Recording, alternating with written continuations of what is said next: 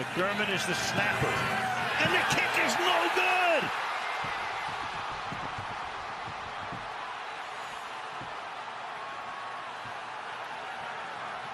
Wow. Go figure. Oh, baby, yeah.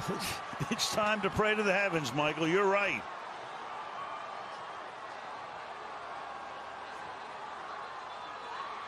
No good. Not even close. Let's look at these laces one more time. Jeff Locke, the holder, is going to try and put it down, and bingo, looking right back at the kicker. And I'm telling you, psychologically, sometimes that can get a kicker, but there's no way to practice making a three foot putt